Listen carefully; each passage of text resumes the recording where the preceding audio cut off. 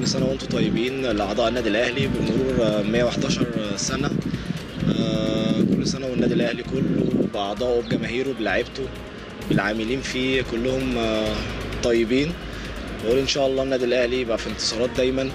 وأهم حاجة نسعد الناس وأهم حاجة اللي إحنا نبقى بنفرح الناس اللي بره والناس اللي جوه النادي دي أهم حاجة.